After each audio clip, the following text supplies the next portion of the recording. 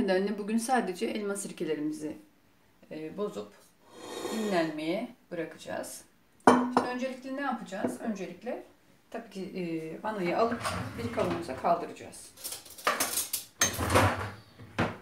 Kaşığımı kıymayla.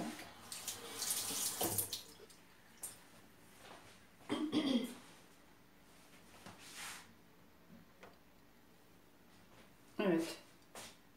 Kaşıkla şöyle kenardan toparladığımız anamız. En son kalan anamız bu. Çünkü epey bir dibe çökmüş. Beni bekleye bekleye.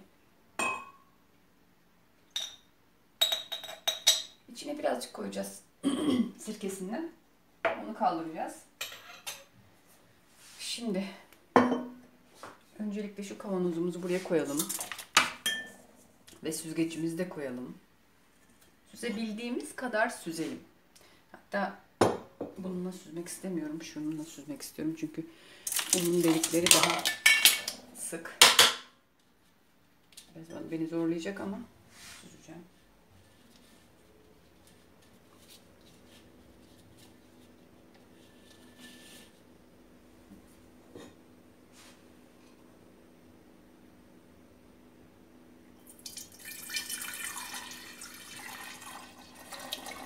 Umarım düşmez. Son derece berrak bir sirke.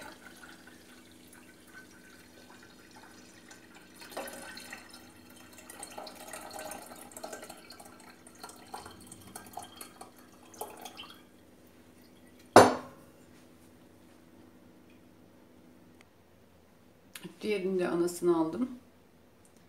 Şimdi onu da süzeceğim. Kısmında başka bir kavanoza süzeceğim. Onu da temizlik için kullanacağım. İnşallah bu buna yeter pek sanmıyorum ama deneyelim. Olmasa yedek bir kavanoz daha ayırdım. Haydi bismillah.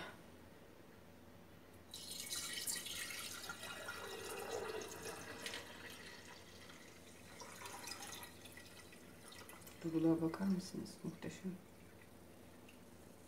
Evet yetmedi. Kenara alalım. Yedek gelsin. Burada ben kamerayı kapatacağım beklemeyin diye. Evet gördüğünüz gibi kalan posa kısmında temizlik için ayırdım. Bunu da görün diye açtım kamerayı tekrar. Bu şekilde bunu böyle ayırdım. Dinlendirmeye bırakacağım. Tabii ki kalan e, posayı çöpe atacağım. Şimdi tek tek kapaklarını kapatıp e, sirkeleri dinlendirmeye bırakacağım. Eğer üzerlerinde tekrar ana oluşursa o anaları da e, ana kavanozuma alıp ağzını kapatıp zaten şimdi de öyle yaptım yapacağım. Buzdolabına koyacağım. E, onun dışında bunları serin bir yerde ağızları kapalı bir şekilde bekletiyoruz. Ne zamana kadar? E, tekrar üzerlerinde bir örtü, bir e, ana oluşana kadar. E, yani takribi bu 4 3-4 aylık bir sirke şu an. E, bir 4 ay daha dinlendirelim. Daha sonra şişeleyip e, kaya tuzunu atıp dolaba kaldıracağız. Serin bir yerde, dolapta değil. Şu an şu an bunu dolapta değil, serin bir yerde dinlendiriyoruz. En son şişeledikten sonra kaya tuzunu atıp dolaba kaldıracağız. E, bu, bu aşamaya gelene kadar neler ne yapmıştık, nasıl yapmıştık? Bir hatırlayalım. E, ki bunun videosu var. Dilediğinizde izleyebilirsiniz kanaldan. Bu aşamaya gelene kadar önce ne yaptık? Temiz, organik olduğuna güvendiğimiz elmalarımızı aldık. Çekirdeklerini, saplarını, e, kurduğunu varsa eziğini, çürüğünü ayıklayarak doğradık.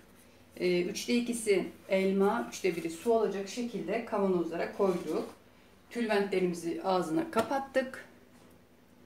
Ee, ana oluş e, pardon 15 gün boyunca dibe çökene kadar önce meyveler karıştırdık. Ee, çelik bir kaşıkla. Daha sonra e, ana e, karıştırdık. Daha sonra tülbentle tekrar ağızlarını sıkıca e, bağlayıp bir kenarda uyuttuk. Ta ki ne zamana kadar ana oluşup dibe çökene kadar ki benim o kadar oluşup çökmüş ki gerçekten vaktim olmadı. Hatta şu an üzgünüm. E, alış sirkem bozulmuş. Ona üzüldüm. Ama elma sirkelerimizi artık idare edeceğiz. Ee, bu kadar. Ne zaman görüşeceğiz tekrar? Tekrar sanırım bir 4 ay sonra görüşeceğiz. Hoşçakalın. İnşallah.